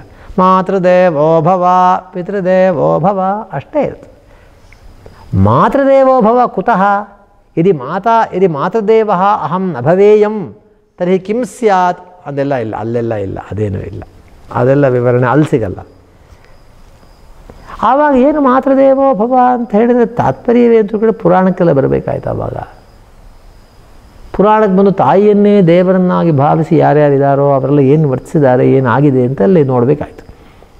ಇತಿಹಾಸ ಪುರಾಣಾಭ್ಯಾಂ ವೇದಂ ಸೌಪಬ್ರಹ್ಮಯೇತ್ ಅಂತ ಮೊದಲಿಂದನೂ ಹೇಳಿದ್ದಾರೆ. ಇದರಿಂದಲೇ ಅದರ ಅರ್ಥವನ್ನು ನಾವು ವಿಸ್ತರಿಸಿ ತಿಳ್ಕೊಳ್ಬೇಕು ಅಂತ ಇತಿಹಾಸ ಪುರಾಣಗಳನ್ನು ತಿಳಿದರೂ ಕೂಡ ಆದರೂ ಪರಿಪೂರ್ಣ ರುಚಿ ಹುಟ್ಟುತ್ತೆ ಅಂತ ಇಲ್ಲ. ಅದಕ್ಕೆ ಮತ್ತೊಂದು ಬೇಕಾಗ್ತದೆ. ಮತ್ತೂ ರೋಚಕವಾಗಿರತಕ್ಕಂಥ, ಮನಸ್ಸು ಹಿಡಿಸುವಂಥ ಒಂದು ಕ್ರಮ ಬೇಕು. ಆ ಕ್ರಮ ಹುಟ್ಟಿದ್ದೆ ಕಾವ್ಯದಲ್ಲಿ. ಅದು ಕಾಂತಾ ಸಂಹಿತ ಪ್ರಭು ಹೇಳೋದಕ್ಕೂ, ಸ್ನೇಹಿತ ಹೇಳೋದಕ್ಕೂ, ತನ್ನ ಧರ್ಮಪತ್ನಿ ಹೇಳೋದಕ್ಕೂ ಹೇಗೆ ವ್ಯತ್ಯಾಸವೋ ಹಾಗೆ. ಪ್ರಭು ಹೇಳ್ತಕ್ಕಂಥ ಮಾತನ್ನು ಲೋಕದ ಅನುಭವವನ್ನು ನಾವು ನೋಡದೆ ತಿಳಿತದೆ. ಪ್ರಭು ಹೇಳ್ತಕ್ಕಂಥ ಮಾತನ್ನು ಅನುಸರಿಸ್ತಾನೆ ಅಂದರೆ ಪರಿಪೂರ್ಣ ಮನಸ್ಸನ್ನು ಅನುಸರಿಸುತ್ತಾನೆ ಅಂತ ಹೇಳಲಿಕ್ಕೆ ಬರೋದಿಲ್ಲ ಹೇಳಿದ್ದಾರೆ ಅವರು. ಲೋಕದ ವ್ಯವಹಾರದಲ್ಲಿ ಹೇಳೋದಾದರೆ ನಮ್ಮ ಬಾಸ್ ಹೇಳಿದ್ದಾರೆ, ಮಾಡಬೇಕಾಗಿದೆ ಅಂತ ಹೇಳ್ತಾನೆ ಅಷ್ಟೇ ಹೇಳೋದು ಜೀವನಿಗೆ ಪರಿಪೂರ್ಣ ಅದರ ಮನಸ್ಸಿನ ನಂಬಲಿಕ್ಕೆ ಬರೋದಿಲ್ಲ ಅವ್ರು ಹೇಳಿದ್ದಾರೆ ಮಾಡ್ತಾ ಇದ್ದೀನಿ ಅಂತ ಹೇಳ್ತಾನೆ ಅನುಸರಿಸ್ಬೇಕು. ಕೆಲವರು ಹಾಗಿಲ್ಲ. ಅವರಿಗೆ ಪ್ರಭು ಸಂಹಿತೆಯೇ ಸಾಕು. ಅದಕ್ಕೆ ಪಕ್ವತೆ ಬೇಕಾಗ್ತದೆ. ಆದ್ದರಿಂದ ಪ್ರಭು ಸಂಹಿತೆಯೇ ಸಾಲದು ಅಂಥೇಳಿ ಋಷಿಗಳೇನು ಮಾಡಿದ್ರು, ಅದಕ್ಕಾಗಿ ಪುರಾಣ ರಚನೆ ಅವರೇ ಮಾಡಿದರು. ಇದಾಗಲ್ಲ ಇಲ್ಲದ್ರೆ ವೇದವಾಕ್ಯ ಅಂದರೆ ಪುರಾಣಗಳೆಲ್ಲ ಪೌರುಷೇಯವಾದ್ದರಿಂದ ಬರಿಬೇಕಾದ್ದೇನಿರಲಿಲ್ಲ, ವೇದಗಳಿದ್ದೇ ಇದ್ವೆಲ್ಲ. ಮತ್ ಪುರಾಣ ಅಷ್ಟಾದಶ ಪುರಾಣಾನಾಂ ಕರ್ತಾ ಸತ್ಯವತಿ ಸುತಃ. ಇದೇ ಸತಿ ವ್ಯಾಸರಿಯಲ್ಲಿ ಯಾವ್ದು ಬೇಕಿರಲಿಲ್ಲ, ಮಹಾಭಾರತ ಇತಿಹಾಸ ಬೇಕಿಲ್ಲ ಯಾವುದು ಬೇಕಿಲ್ಲ ಸಾಕು, ವೇದ ಇದೆ, ಮಾತ್ರ ದೇವ ಒಬ್ಬ ಒಂದು ವಾಕ್ಯ ಸಾಕು. ಎಲ್ಲರೂ ಅವರ ತಾಯಿಯಿಂದ ದೇವರನ್ನು ಭಾವ ಹಾಗಾಗೋದಿಲ್ಲ. ಆದ್ದರಿಂದ ಈ ಪುರಾಣಗಳಲ್ಲಿ ಹೇಳ್ತಕ್ಕಂಥ ರೀತಿಗಿಂತಲೂ ಮತ್ತೊಂದು ಭಿನ್ನವಾದ ರೀತಿ, ಕಾವ್ಯದ ರೀತಿ ಬೇಕಾಯಿತು. ಪುರಾಣದಲ್ಲಾದರೂ ಕೂಡ ಏನು ನಡೆದಿದೆಯೋ ಅದನ್ನು ಹೇಳ್ತಾರಷ್ಟೆ. ಹೀಗೆ ನಡೀತು, ಹೀಗೆ ಒಬ್ಬರಿದ್ದರು ಹೀಗೆ ಮಾಡಿದರು ಅಂತ ಹೇಳ್ತಾರೆ. ಅದಕ್ಕೆ ಮತ್ತೆ ರಂಜನೆ ಇಲ್ಲ ಅದರಲ್ಲೇನು. ಕಾವ್ಯ ಹಾಗಾಗೋದಿಲ್ಲ. ಕಾವ್ಯ ಅದೇ ಧರ್ಮವನ್ನು, ಅದೇ ವಿಷಯವನ್ನು ಹೇಳ್ತಕ್ಕಂಥ ರೀತಿ ಬೇರೆ. ಸಣ್ಣ ಉದಾಹರಣೆ ಕೊಟ್ಟದನ್ನು ಮನಸ್ಸಿಗೆ ತಂದ್ಕೊಳ್ಬಹುದಾದರೆ, ತಾಯಿಯನ್ನು ದೇವರನ್ನು ಭಾವಿಸಿರತಕ್ಕಂಥವರಲ್ಲಿ ಹೇಗೆ ಉಪದೇಶಗಳ ಕೆಲಸ ಮಾಡುತ್ತೆ, ಮಾತೃದೇವೋಭವ ಅಂತಕ್ಕಂಥ ವೇದವಾಕ್ಯದಿಂದ ಗೊತ್ತಾಗೋದು ಪುರಾಣಗಳಲ್ಲಿ ತಾಯಿಯನ್ನು ದೇವರನ್ನಾಗಿ ಭಾವಿಸಿ ಅನಿಸಿರ್ತಕ್ಕಂಥವ್ರು, ಕಾವ್ಯಗಳಲ್ಲಿ ಅದೇ ತಾಯಿನ ದೇವಿ, ದೇವರು ಅಂತ ಭಾವಿಸಿರ್ತಕ್ಕಂಥ ಹೇಗೆ ವರ್ತಿಸ್ತಾನೆ ಅಂತ ನಾವು ನೋಡಿದರೆ ಅದು ಹೇಗೆ ಪರಿಣಾಮ ಆಗತ್ತೆ ಅಂತ ಆ ಮಾತೃದೇವೋಭವ ಎಂಬುದು ಕಾವ್ಯದಲ್ಲಿ ಅಂದರೆ ಕಾಂತಾ ಸಂಹಿತೆಯಲ್ಲಿ ಹೇಗೆ ಪರಿಣಾಮ ಆಗತ್ತೆ ಅಂತ ನೋಡಬೇಕು ಅಂತಾದರೆ ಮಹಾಕವಿ ಕಾಳಿದಾಸನ ರಘುವಂಶದಲ್ಲಿ ಒಂದು ಪ್ರಸಂಗ ಬರುವಾಗ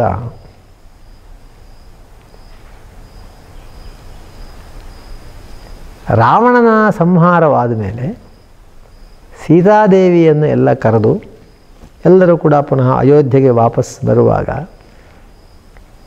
ಆವಾಗ ಎಲ್ಲರೂ ಬಂದು ಕೌಸಲ್ಯೆ, ಕೈಕೇಯಿ, ಸುಮಿತ್ರೆಗೆ ನಮಸ್ಕಾರ ಮಾಡ್ತಾರೆ. ನಮಸ್ಕಾರ ಮಾಡುವ ಸಮಯದಲ್ಲಿ ಆ ಸಂದರ್ಭವನ್ನು ಮನಸ್ಸಿಗೆ ತಂದುಕೊಂಡ್ರೆ ಹದಿನಾಲ್ಕು ವರ್ಷ ಕಳೆದು ಪಡಬಾರದ ಕಷ್ಟವನ್ನು ಪಟ್ಟು ಸೀತಾಪಹರಣ ಆಗಿ ಆ ಸೀತೆಯನ್ನು ಹುಡುಕ್ಲಿಕ್ಕೆ ಇಲ್ಲದ ಪ್ರಯತ್ನ, ವಿಪರೀತ ಪ್ರಯತ್ನ ನಡೆಸಿ ಆಮೇಲೆ ರಾವಣದ ರಾಕ್ಷಸ ಕುಲವನ್ನೆಲ್ಲ ಸಂಹಾರ ಮಾಡಿ ಇನ್ನಿಲ್ಲೇ ಇರತಕ್ಕಂಥ ತೊಂದರೆ ಅನುಭವಿಸಿ ರಾಮನು ವಾಪ ಬಂದಿದ್ದಾನೆ ಅಲ್ಲಿಗೆ ಯಾವುದೇ ಮನುಷ್ಯ ಸಾಮಾನ್ಯನಾದರೂ ಕೂಡ ಕಷ್ಟಪಡದೇ ಇದ್ರೇ ಅವನಿಗೆ ಅಸಮಾಧಾನ ಇರುತ್ತೆ. ಇಷ್ಟು ಕಷ್ಟಪಟ್ಟವನು ತುಂಬ ಅಸಮಾಧಾನ ಇರಬೇಕು ಅವನಿಗೆ. ಯಾರ ಬಗ್ಗೆ ಅಂದರೆ ಕೈಕೇಯಿ ಬಗ್ಗೆ ಇರಬೇಕು. ಸ್ವಾಭಾವ, ಮೂಲ ಅವಳೆ ನವಪಂಚದ ವರ್ಷಾಣಿ ಅದು ಅವಳು ಕೇಳದೆ ಹೋಗಿದ್ದಿದ್ರೆ ಇವನು ಹೋಗ್ತಾನೆ ಇರಲಿಲ್ಲ. ಯಾರಿಗಾದರೂ ಕೂಡ ಮನುಷ್ಯ ಮಾತನಾದವನಿಗೆ ಮನುಷ್ಯ ಸಾಮಾನ್ಯ ಮನುಷ್ಯನಿಗೆ, ಆ ಕೈಕೇಜಿ ಮುಖ ನೋಡಿದ ಕೂಡಲೇ ಆ ರೀತಿ ಕ್ರೋಧ ಉಕ್ಕು ಬರಬೇಕು. ಸ್ವಾಭಾವಿಕ ಅದು ನಾವು ಯೋಚನೆ ಮಾಡೋದು. ಆದರೆ ಧರ್ಮಮೂರ್ತಿಯಾಗಿರ್ತಕ್ಕಂಥ ಶ್ರೀರಾಮಚಂದ್ರ ಏನು ಹೇಳಬಹುದು ಅಂತ ಮಹಾಕವಿ ಕಾವ್ಯದಲ್ಲಿ ಊಹೆ ಮಾಡಿದ್ದಾನೆ ಏನು ಹೇಳ್ರಿ ಏನು ಹೇಳ್ರಿ ತಾನಲ್ಲಿ? ಧರ್ಮಮೂರ್ತಿಯಾದ ಶ್ರೀರಾಮಚಂದ್ರ ಕೈಕೇಯಿಯನ್ನು ನೋಡಿದಾಗ ಅವನಲ್ಲಿ ಉಂಟಾದಂಥಕ್ಕೆ ಏನು ಹೇಳಿರಬಹುದು ಆವಾಗ? ಯಾಕಂದರೆ ವಾಲ್ಮೀಕಿಲಿ ದರ್ಶನ ಮಾಡುತ್ತಿದೆ, ನೋಡ್ತಾ ಇದ್ದಿದೆ. ಆ ಮಾತನ್ನು ಧರ್ಮಮೂರ್ತಿಯಾದಂಥ ಶ್ರೀರಾಮಚಂದ್ರನ ಮಾತನ್ನು ಧರ್ಮಮೂರ್ತಿಯಾದ ಕಾಳಿದಾಸನಿಗೆ ಗೊತ್ತಾಗ್ತಕ್ಕಂಥದ್ದು. ಇವ್ರು ತಿಳಿಯೋದಿಲ್ಲ. ಏನು ಹೇಳಿರ್ಬೋದು ಅವನು ಅಂತ ಹೇಳ್ತಾನೆ. ನಾಭ್ರಶ್ಯತ ಸ್ವರ್ಗಫಲಾದ್ ಗುರುರ್ನಃ ತಚ್ಚಿಂತ್ಯಮಾನಂ ಸುಕೃತಂತವೇತಿ ಜಹಾರ ಲಜ್ಜಾಂಭರತಸ್ಯ ಮಾತು ಅಂತ ಹೇಳಿದಾನೆ ಕಾಳಿದಾಸ. ಊಹೆ ಮಾಡಿದ್ದಾನೆ ಕಾಳಿದಾಸ. ಅಲ್ಲಿ ಏನಾಗಿರ್ಬೋದು ಅಂತ ಹೇಳ್ತಾನೆ. ಇದು ವಾಲ್ಮೀಕಿನೂ ಕೆಲವು ಸರಿ ಮೀರಿ ಬಿಡ್ತದೆ ಕಾಳಿದಾಸನ ಮಾತು. ಇದೇ ಇರಬಹುದು. ಅದರಲ್ಲಿ ಅವನು ನಿಷ್ಣಾತ ಕಾಳಿದಾಸ. ಯಾಕೆಂದರೆ ಶಾಕುಂತಲ ಬರೆದಿಂದ ಅನೇಕರು ಅಭಿಜ್ಞಾನ ಶಾಕುಂತಲೇ ನಿಜವಾದ್ದು, ವ್ಯಾಸರ ಬರೆದ ಕಥೆ ಕಲ್ಪಿತ ಅನ್ನೋ ಇದಕ್ಕೆ ಬಂದಿದೆ ಯಾಕೆಂದರೆ ಹಾಗಿದೆ ಒಂದು ಸಂವಿಧಾನ. ಕಾಳಿದಾಸನ ಸಂವಿಧಾನ. ಅವನು ಹೇಳ್ತಾನೆ, ಅಮ್ಮ, ನಮಸ್ಕಾರ ಮಾಡ್ತಾ ಇದ್ದೇನೆ. ನಾಭ್ರಶ್ಯತ ಸ್ವರ್ಗಫಲಾದ್ ಗುರುರ್ನ. ತಂದೆಯಾಗಿರ್ತಕ್ಕಂಥ ದಶರಥನಿಗೆ ಸ್ವರ್ಗಫಲವು ಜಾರಿ ಹೋಗಲಿಲ್ಲ. ಸ್ವರ್ಗವೆಂಬ ಫಲವು ಅವನಿಗೆ ಜಾರಿ ಹೋಗಲಿಲ್ಲ. ಅದು ಜಾರಿ ಹೋಗದೇ ಇರಲಿಕ್ಕೆ ಏನು ಕಾರಣ? ತಚ್ಚಿಂತ್ಯಮಾನಂ ಸುಕೃತಂತವೇತಿ ಜಹಾರ ಲಜ್ಜಂಭರತಸ್ಯ ಮಾತು ಎರಡು ಭಾಗ ಇಟ್ಟಿದ್ದಾನೆ ಕಾಳಿದಾಸ. ತಚ್ಚಿಂತ್ಯಮಾನಂ ಸುಕೃತಂ ತವ. ನಿನ್ನ ಪುಣ್ಯದಿಂದ. ಯಾಕೆ ಅಂದರೆ, ಹಿಂದವನ ಮಾತು ಕೊಟ್ಬಿಟ್ಟಿದ್ದಾನೆ ದಶರಥ, ವರ ಕೊಡ್ತೀನಿ ನಿನ್ನ ಹಠ ಹಿಡಿದೇ ಹೋಗಿದ್ದ ಪಕ್ಷದಲ್ಲಿ ಅವನು ಮಾತು ನಡೆಸ್ಲಿಕ್ಕೆ ಆಗ್ತಾ ಇರಲಿಲ್ಲ. ಮಾತು ನಡೆಸೋಕ್ಕಾಗದೆ ಹೋದ ಪಕ್ಷದಲ್ಲಿ ತನ್ನ ಮಾತು ತಾನು ಉಳಿದಂಗೆ ಆಗ್ತಾ ಇರಲಿಲ್ಲ. ಆವಾಗ ಏನಾಗ್ತದೆ? ಸ್ವರ್ಗ ಫಲ ತಪ್ಪು ಹೋಗ್ತಾ ಇತ್ತು. ಈಗ ಹಾಗಲ್ಲ. ನಿನ್ನ ಮಾತಿಗೆ ನೀನು ಹಠ ಹಿಡಿದೆ. ಹಠ ಹಿಡಿದ ಅರಣ್ಯಕ್ಕೆ ಹೋದೆ. ಅರಣ್ಯಕ್ಕೆ ಹೋದ ದಶರಥನ ಮಾತು ಉಳಿತು. ದಶರಥನ ಮಾತು ಸ್ವರ್ಗ ಸಿಕ್ತು. ಯಾರು ಫಲ ಆಗಬೇಕಾಯ್ತಿದು? ನಿಂದ. ಹೀಗೆ ಹೇಳಿ ಜಹಾರ ಲಜ್ಜ ಅಂಭರತಸ್ಯ ಮಾತು ಅಂತ ಹೇಳಿದಾನೆ ಕಾಳಿದಾಸ. ಕೈಕೇಯಿಗೆ ತನ್ನಲ್ಲೇ ಉಂಟಾಗಿರ್ತಕ್ಕಂಥ ಆ ನಾಚಿಕೆಯನ್ನು ದೂರ ಮಾಡಿದ. ಇಲ್ಲಿ ಧರ್ಮ ಪ್ರವೇಶ ಮಾಡಿದ್ದದು. ಇನ್ನೊಬ್ಬರಲ್ಲಿರತಕ್ಕಂಥ ಲಜ್ಜೆಯನ್ನು ದೂರ ಮಾಡೋದೇ ಒಂದು ಧರ್ಮ ಯಾವತ್ತು? ಅಪರಾಧ ಮಾಡಿದವರಲ್ಲೂ ಕೂಡ ಲಜ್ಜೆಯನ್ನು ದೂರ ಮಾಡ್ತಕ್ಕಂಥ ಧರ್ಮ. ಇದು ರಾ, ಶ್ರೀರಾಮಚಂದ್ರ ಮಾಡಿದಾನೆ ಇದು ಮಾತೃದೇವೋಭವ ಎಂಬುದರ ವ್ಯಾಪಕವಾಗಿರ್ತಕ್ಕಂಥ ಮಾತೃದೇವೋಭವ ಅಂತ ಹೇಳ್ತಕ್ಕಂಥ ಒಂದು ವಾಕ್ಯವಿದೆ, ವೇದ ವಾಕ್ಯವಿದೆ, ಮಾತೃದೇವೋಭವ. ಪುರಾಣದಲ್ಲಿ ಕಥೆಯೂ ಇದೆ ನಿಜ. ಒಬ್ಬ ಮಾತೃ ಒಂದು ವೇಳೆ ತಪ್ಪು ಮಾಡಿದರೂ ಕೂಡ ಆವಾಗ ಹೇಗೆ ವರ್ತಿಸ್ಬೇಕಪ್ಪ?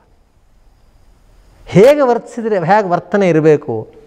ಅದು ಧರ್ಮಮೂರ್ತಿಗೆ ಸಾಧ್ಯ. ಈ ಥರದ್ದು ಶ್ರೀಮದ್ ರಾಮಾಯಣದಲ್ಲಿ ವೇದದ ವಾಕ್ಯವನ್ನು ಕಾವ್ಯಗಳ ಮೂಲಕ ಗೊತ್ತಾದಾಗ, ಧರ್ಮದ ಸ್ವರೂಪ ಗೊತ್ತಾಗತ್ತೆ ಹೇಗೆ ಎಂಬುದು ಇಲ್ಲಿ ತಿಳಿಯುತ್ತದೆ. ಒಂದು ವೇಳೆ ಒಬ್ಬರಿಗೆ ಮಾತೃದೇವೋಭವ ಎಂಬುದು ಇಷ್ಟೇ ಗೊತ್ತಿದ್ದು, ತನ್ನ ತಾಯಿ ಏನೋ ತಪ್ಪು ಮಾಡಿದಾಳೆ ಅಂತಾದರೆ, ಇವಳನ್ನೇನು ದೇವ ಅಂತ ಭಾವಿಸ್ಬೇಕು ನಾನು ಅಂತ ಬುದ್ಧಿ ಬಂದುಬಿಡ್ಬೋದು ತಕ್ಷಣ. ಆದರೆ ಅದೇ ಅವನು ಪುರಾಣವನ್ನು ನೋಡಿ, ಈ ಕಾವ್ಯವನ್ನು ನೋಡಿದ್ದ ಪಕ್ಷದಲ್ಲಿ, ಈ ಕಾಂತಾ ಸಂಹಿತೆಯನ್ನು ಓದಿದ್ದ ಪಕ್ಷದಲ್ಲಿ ಕೈಕೇಯಿಗೆ ಹೀಗೆ ಮಾಡಿದಾನೆ ಶ್ರೀರಾಮ, ನನ್ನ ತಾಯಿಗೆ ಒಂದು ಅಲ್ಪ ಸ್ವಲ್ಪ ತಪ್ಪು ಮಾಡಿದರೆ ಏನಪ್ಪ? ಈ ಬುದ್ಧಿ ಧರ್ಮದ ಬುದ್ಧಿ ಹುಡ್ತದೆ ಇದು ಕಾವ್ಯಗಳ ಪ್ರಯೋಜನ. ಕಾಂತಾ ಸಂಹಿತೆಯ ಪ್ರಯೋಜನ ಇದು. ಇದಕ್ಕೆ ಅವರು ಕಾಂತಾ ಸಂಹಿತೆ ಅಂತ ಕರೆದರು. ಆದ್ದರಿಂದ ಪ್ರಭು ಸಂಹಿತೆ, ಮಿತ್ರ ಸಂಹಿತೆ, ಕಾಂತಾ ಸಂಹಿತೆ ಅಂತ ವಿಭಾಗ ಮಾಡಿದ್ದು ಫಲಭೇದ ಬರಕೂಡದು ಶಾಸ್ತ್ರಗಳಲ್ಲಿ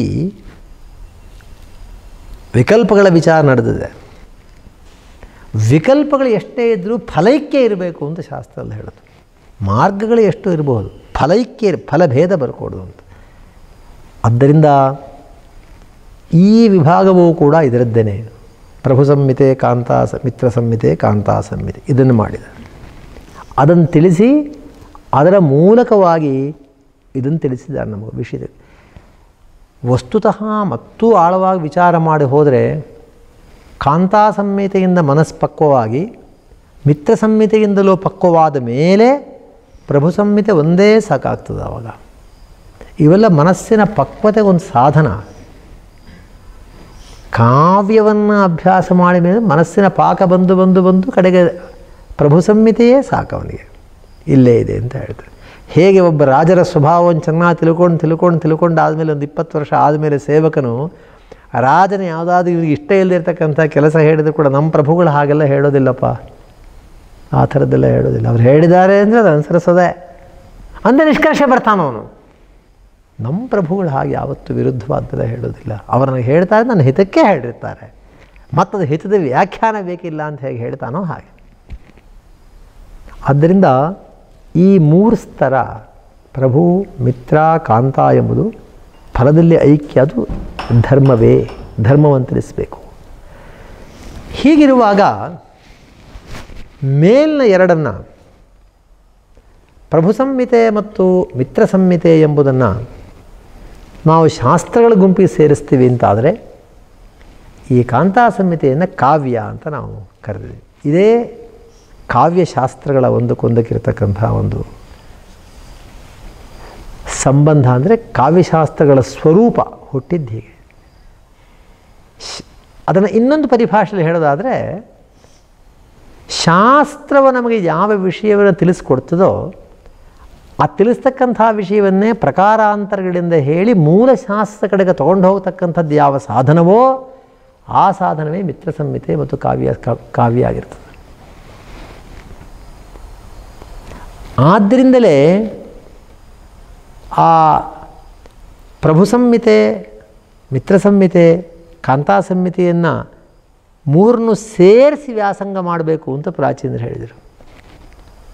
ಅಶಿಕ್ಷಿತಾನಾಂ ಶಾಸ್ತ್ರೇಷು ಕಾವ್ಯಾಭ್ಯಾಸೋ ನಿರರ್ಥಕ.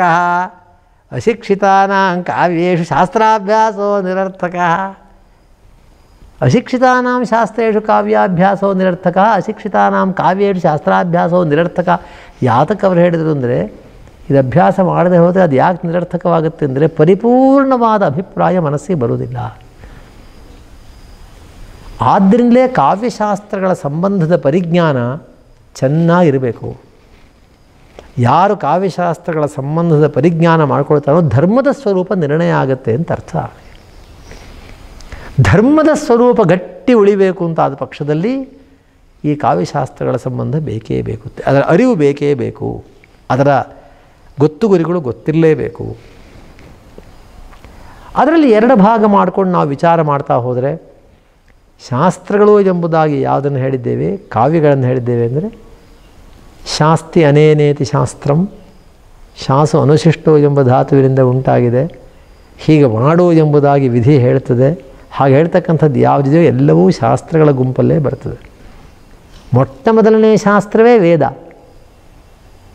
ವೇದಾಶಾಸ್ತ್ರ ಅಂತ ಎರಡು ವಿಭಾಗದ. ಅದು ವೇದದ ಶಾಸ್ತ್ರ ಸ್ವರೂಪ ಗೊತ್ತಿಲ್ಲದೆ ಹೇಳ್ತಕ್ಕಂಥ ಮಾತು. ವೇದವೇ ಮೊದಲನೆಯ ಶಾಸ್ತ್ರ. ಶಂಕರಾಚಾರ್ಯ ಭಾಷೆ ಮಹತಃ ಶಾಸ್ತ್ರಸ್ಯ. ವೇದವೇ ಒಂದು ಶಾಸನ ಮೊದಲನೆಯದು ಅಲ್ಲಿಂದ ಪ್ರಾರಂಭ. ವೇದವೇ ಒಂದು ಅದು ಮೊಟ್ಟ ಮೊದಲನೆಯ ಶಾಸ್ತ್ರ. ಅದಕ್ಕೆ ಇರತಕ್ಕಂಥ ಬಾಕಿ ಎಲ್ಲವೂ ಸೇರಿಸ್ಕೊಂಡ ನಂತರ ಪರಿವಾರ ಸೇರಿದ ಮೇಲೆ ಆ ವೇದಾರ್ಥವು ಸರಿಯಾಗುತ್ತದೆ. ಪುರಾಣನ್ಯಾಯ ಮೀಮಾಂಸಾ ಧರ್ಮಶಾಸ್ತ್ರಾಂಗ ಮಿಶ್ರಿತಾ ಅಂಗಾನಿ ವೇದಾಶ್ಚತ್ವಾರೋ ಮೀಮಾಂಸಾ ನ್ಯಾಯ ವಿಸ್ತರ. ಪುರಾಣಂ ಧರ್ಮಶಾಸ್ತ್ರಂಚ ವಿದ್ಯಾಹ್ಯೇತಾಶ್ಚತುರ್ದಶ ಅಂತ ಒಂದು ಸಂಗ್ರಹ ಮಾಡಿ ಕೊಟ್ಟಿದ್ದಾರೆ ಅವರು. ಯಾಜ್ಞವಲ್ಕ ಸ್ಮೃತಿಯಲ್ಲಿಯೂ ಇದೆ, ಇದರಲ್ಲೂ ಹೇಳಿದ್ದಾರೆ.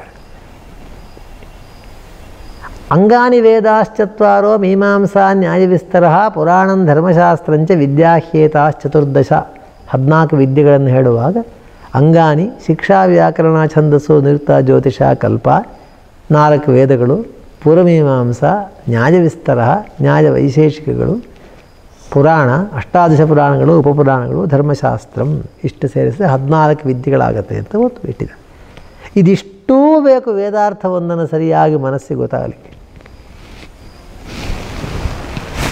ಒಂದು ವೇದದ ಅಭಿಪ್ರಾಯ ಪೂರ್ಣ ಮನಸ್ಸಿಗೆ ಬರಕ್ಕೆ ಇದೆಲ್ಲ ನೆರವು ಬೇಕು. ಹಾಗಾಗಿ ಇವುಗಳ ಹೆಚ್ಚು ಅರಿವು ಜಾಸ್ತಿ ಆದಂತೆ ವೇದವಾಕ್ಯಗಳ ಅಭಿಪ್ರಾಯ ಸರಿ ಮನಸ್ಸಿಗೆ ಬರ್ತದೆ. ಅದು ಮುಖ್ಯ ಶಾಸ್ತ್ರ. ಆ ಮುಖ್ಯ ಶಾಸ್ತ್ರವಾದದ್ದು ವೇದ. ಇದೆಲ್ಲವೂ ಅದಕ್ಕೆ ಸೇರಿರ್ತಕ್ಕಂಥ ಶಾಸ್ತ್ರಗಳೇ. ಎಲ್ಲ ಆ ರೀತಿಯಾಗಿರ್ತಕ್ಕಂಥ ಶಾಸ್ತ್ರ ಏನಿದೆ? ಇದರ ಒಂದು ಅರಿವು, ಇದರ ಉದ್ದೇಶ, ಇದರ ವ್ಯಾಪ್ತಿ ಯಾತಕ್ಕೆ ಹೊರಟಿದೆ? ಹಾಗೆಯೇ ಕಾವ್ಯ. ಕಾವ್ಯಗಳ ನಾನು ತಿಳಿಸಿಕೊಟ್ಟಂತೆ, ಅದು ನಮಗೆ ತಿಳಿಸಿದಾಗ ತಿಳಿಯಾಗಿ, ಮೃದುವಾಗಿ ಹಿತವಾಗುವಂತೆ, ನಮಗೆ ಹಿತವಾಗುವಂತೆ ಹೇಳ್ತದೆ ಅದು. ಕಾವ್ಯವು. ಅದು ಹಿತವಾಗಿ ಹೇಳುವ ಕ್ರಮ ಒಂದು ಬೇರೆ ಇದೆ. ಇದೇ ವಿಷಯವನ್ನೇ. ಆ ಹೇಳ್ತಕ್ಕಂಥ ಕ್ರಮ ಆ ಕಾವ್ಯದಲ್ಲಿರುತ್ತದೆ. ಆದ್ದರಿಂದ ಕಾವ್ಯ ರೀತಿಯಲ್ಲೂ ಇದೇ ವಿಷಯವನ್ನು ತಿಳ್ಕೊಂಡು ಆ ಸಂಬಂಧವನ್ನು ಅರಿತುಕೊಳ್ಬೇಕು ಅಂತ ಹೇಳ್ತಾರೆ. ಶಾಸ್ತ್ರಗಳಲ್ಲಿ ಇಷ್ಟು ವಿಭಾಗ ಅದನ್ನು ಮತ್ತು ವಿಭಾಗ ಮಾಡಿ ಹೇಳ್ಬೋದು. ಎಷ್ಟೆಷ್ಟು ವಿಭಾಗಗಳಿದೆ ಅಂಥೇಳಿ ಯಾವ್ಯಾವ ಥರ ಬಂದಿದೆ ಅಂತ ಹೇಳ್ಬೋದು. ಶಬ್ದಶಾಸ್ತ್ರ ಧರ್ಮಶಾಸ್ತ್ರ, ಮೀಮಾಂಸ ಇವೆಲ್ಲವೂ ಬೇರೆ ಬೇರೆ ವಿಷಯಕ್ಕೆ ಹೊರಟಿರ್ತಕ್ಕಂಥ ಶಾಸ್ತ್ರಗಳು. ಋಷಿಗಳು ಅದಕ್ಕೆ ಸೂತ್ರಗಳನ್ನೆಲ್ಲ ಮಾಡಿ ಕೊಟ್ಟಿದ್ದಾರೆ. ಅದು ಏನು ಎಂಬುದನ್ನು ವಿಸ್ತಾರವಾಗಿ ತಿಳಿಯೋಣ.